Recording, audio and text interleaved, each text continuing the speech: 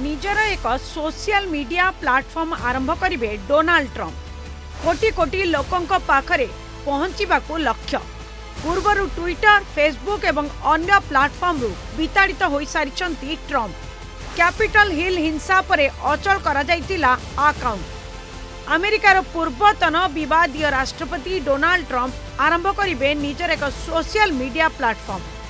ତାଙ୍କର ଜଣେ ଘନିଷ୍ଠ ସହଯୋଗୀ ତଥା ପରାମର୍ଶଦାତା ଜାସନ ମିଲରଙ୍କ ସୂତ୍ରରୁ ଜଣାପଡ଼ିଛି ଏହି ତଥ୍ୟ। ଗତ ଜାନୁଆରୀ ଛଅ ତାରିଖରେ କ୍ୟାପିଟଲ ହିଲ୍ରେ ତାଙ୍କ ସମର୍ଥକଙ୍କ ଦ୍ୱାରା ସଂଗଠିତ ହୋଇଥିବା ଅଗଣତାନ୍ତ୍ରିକ ହିଂସାକାଣ୍ଡ ପରେ ଟ୍ୱିଟର ଫେସବୁକ୍ ଏବଂ ଅନ୍ୟ ସୋସିଆଲ ମିଡିଆ ପ୍ଲାଟଫର୍ମଗୁଡ଼ିକ ଟ୍ରମ୍ପଙ୍କ ଆକାଉଣ୍ଟକୁ ଅନିର୍ଦ୍ଦିଷ୍ଟ କାଳ ପାଇଁ ଅଚଳ କରିଦେଇଥିଲେ।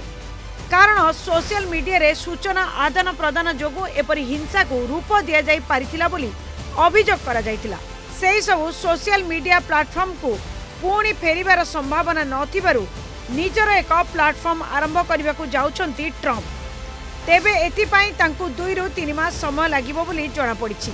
ସୂଚନା ଅନୁସାରେ ଟ୍ରମ୍ପ ଯେଉଁ ପ୍ଲାଟଫର୍ମ ଆରମ୍ଭ କରିବାକୁ ଯାଉଛନ୍ତି ତାହା ସୋସିଆଲ ମିଡିଆର ସଂଜ୍ଞା ବଦଳାଇ ଦେବ ଏବଂ ତାହା କୋଟି କୋଟି ଲୋକଙ୍କୁ ଆକର୍ଷିତ କରିବ ବୋଲି ଦାବି କରାଯାଉଛି। ହ୍ୱାଇଟ୍ ହାଉସ୍ରୁ ବାହାରିବା ପରେ ଟ୍ରମ୍ପ ଏ ବାବଦରେ ତାଙ୍କ ସହଯୋଗୀଙ୍କ ସହ ବୈଠକ କରିସାରିଛନ୍ତି। ବୈଷୟିକ ସହାୟତା ପାଇଁ ଅନେକ ଟେକ୍ନୋଲୋଜି କମ୍ପାନୀ ସହିତ ମଧ୍ୟ ଆଲୋଚନା କରିଛନ୍ତି। ତେବେ ସୋସିଆଲ ମିଡିଆ ପ୍ଲାଟଫର୍ମର ନାଁ କ'ଣ ରହିବ ଏଯାଏ ତାହା ଘୋଷଣା ହୋଇନାହିଁ।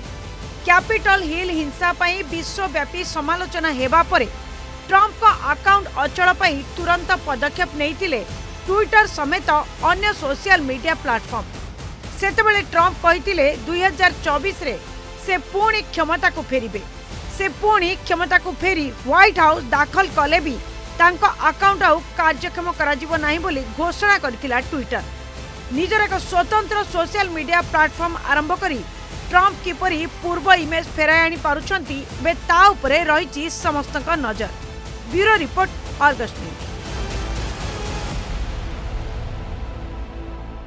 ଏବେ ଆମେ ଆଣିଛୁ ଆପଣଙ୍କ ପାଇଁ Argus news app Google play store किंबा एप्पल आप स्टोर को जातु अर्गस न्यूज़ टाइप करंतु आउ अर्गस आप डाउनलोड करंतु। लाइव बुलेटिन न्यूज़ एवं अन्य शो देखंतु। आउ आम संगे जोड़ी होंतु तेबे डेरी काहे की आज ही डाउनलोड करंतु। अर्गस न्यूज़ ऐप सत्यर संधान रे। अर्गस सब बेले लोकों को साथी रे।